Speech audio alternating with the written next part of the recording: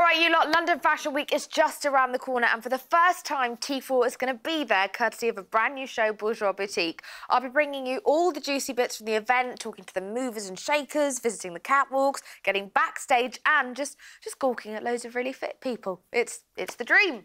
And if that is not enough, we're giving you and a friend the chance to win a luxury weekend in Paris, courtesy of Bourjois Cosmetics. You'll travel to the fashion capital via Eurostar and spend two nights in the Hotel de Crillon, plus you'll be given 1,000 £1,000 spending money, a day of being chauffeur driven around, and a year's supply of makeup. So for your chance to win, simply head to channel4.com forward slash bourjois boutique for all the details.